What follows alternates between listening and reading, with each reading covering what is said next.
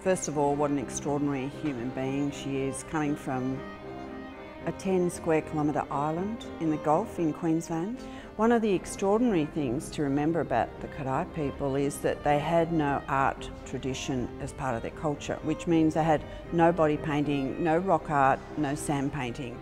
When she was nearly 80 and she uh, went to the art centre on Mornington Island for occupational therapy, um, she had also no obligation. Uh, she had no tradition she had to follow. So when she started literally to muck around with some acrylics, um, outpoured this whole different vision.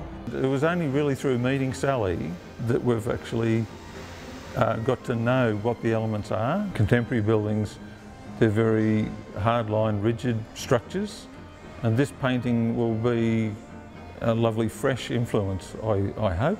It's very gestural, it's got a lot of energy, it's not plain surfaces like the rest of the building. It's one of the hardest things for us to do is to retain the energy from the original painting.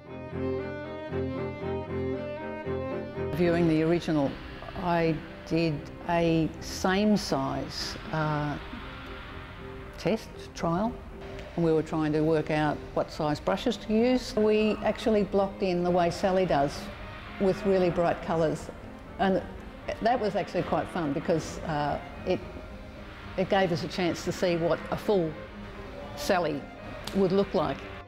Sally Gabori, her painting, when many people first see it, they don't understand that it's a landscape, a seascape. They think it's an abstract, someone just playing with paint. But once you, once you go deep into her stories and whatever, every part of the painting is a special place or a special, uh, has a special story in relation to what's important to her.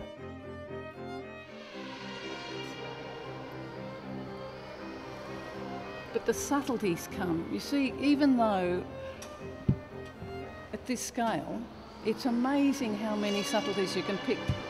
Even if you make it more abstract and simple, you've still got to get the same subtlety in there, the same little shifts and layers.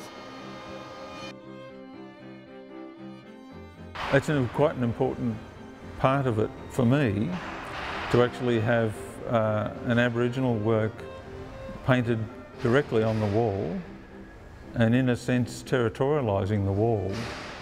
I would do all the painting and then there was a time that Jeffrey did the painting, then we could both work on things at once. Each, each time we went through another stage we had to juggle what each of our roles were.